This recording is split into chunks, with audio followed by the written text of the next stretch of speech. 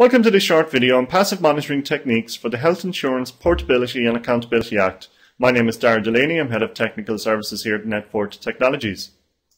So what is HIPAA? Well, HIPAA is designed to protect the privacy of a patient's personal and health information. It provides for electronic and physical security of personal health information, and it simplifies billing and other transactions.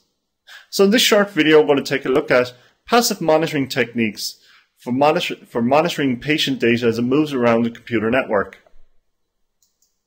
So what must we protect? Well, we must protect an individual's personal and health information that is created, kept, filed, used, or shared, or is written, spoken, or is in electronic format. HIPAA says that this information is protected health information. So the Windows File Share Monitor, which has been developed by NetFort Technologies, is a passive appliance-based traffic analysis system. It allows you to create file share audit logs, and no agents are needed on the clients or servers, no auditing needs to be enabled on the servers, and you can relate this important information back to individual users. Typical install can take less than one hour, and again, you do not need to modify your servers, you do not need to enable any auditing. So how does it plug in? Well, here in my network here, I've got a core switch, I've got a number of application database servers, and I've got PCs and laptops connected where my users are logging on.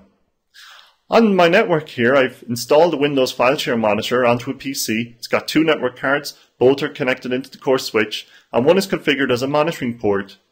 The monitoring port is taking a copy of data as it comes in and out of the server connections. So if you've got a managed switch, it'll have an option in there for setting up monitoring or, or sometimes referred to as span. Now you can install the software onto, onto either a server, a PC, or you can also download it as a virtual appliance. The links are shown at the bottom of this video where you can download the software. So how does it work? Well here we've got a X-ray file here and it's hosted on our application server. So I've got a user that logged on here and they, they want to copy that file to their workstation. So the file leaves the server, goes through the core switch, and arrives at their desktop.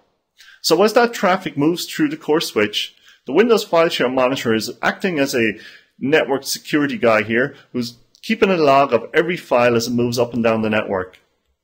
So if a user copies a file, creates files, deletes files, modifies files, a record is kept of this activity. So let's now take a look at it as an operation on a network.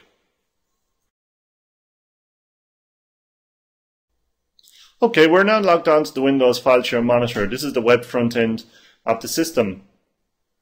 I'm going to go to my Windows Explorer here, and I've got a drive map to the Medical Center Share, our main server here, which hosts some patient information. So within the share, I've got a number of folders. We've got some facilities, finance, and templates, and some patient records. So I'm going to go into patient records, going to go here to Dr. Williams, going to pick one of these patients here, Albert Jones. So we've got a number of x-rays associated with this patient. So I'm actually going to copy off these x-ray files. I'm going to go to my PC. I'm going to put, drop them in here to this medical records folder. There they are. So as a user, I've taken a copy of this, this, this these images which are associated with a, with a patient of one of the doctors here. So I'm going to go here now to the Windows File Share Monitor to check and make sure that we've picked up these records as they moved around the, or these files as they moved around the network.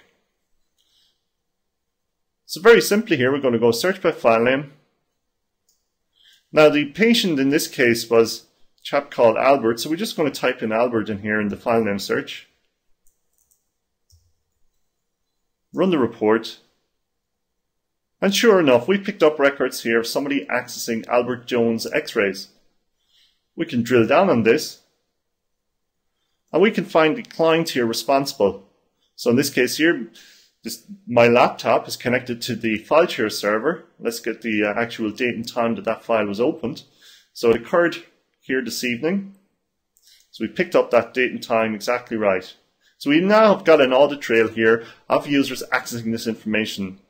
With Active Directory or with eDirectory, we can also get the username. I don't have it configured on my system here, but with the Active Directory integration, we can also have the username, so we can have username, client, server, action.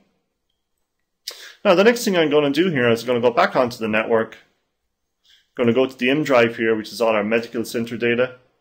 going to go to finance and we're going to delete the budget forecast document here.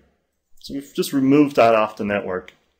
So again, we have a question now. So not only medical records, but our finance manager is, is questioning what happened, the budget forecast file, where is it gone? So we're going to go back here to the file share monitor. Going to go search by file name. And in this case here, I want to take a look for any deletes. So what sort of files have been deleted off the network over the last four hours? We run the report, and sure enough, here is the budget forecast file. Drill down, and we have a track back to, to my laptop here, confirming that it was a delete. When did this occur? It occurred just right now, just after deleting that file off the network. So again, we've got a record kept here of a, all file transactions on your network, whether it be read. So let's have, take a look at the options here. We got create, open, renames, deletes, reads, and writes. And all of the activity then is displayed on dashboard, so you, you can have an up-to-date view of what files are moving around, who's accessing patient data, PDF files. Actually, we've got some um, movie files moving around as well. And under patient records, one of the nurses here is storing some, some movie files. So they can make cause problems. They can fill up this space quite quickly. So very, very useful tool as well for tracking for video files, maybe music files that could be using a lot of storage on your servers. So that's a very, very quick introduction to the Windows File Share Monitor and how you can passively mo monitor files and especially patient data as it moves around your network.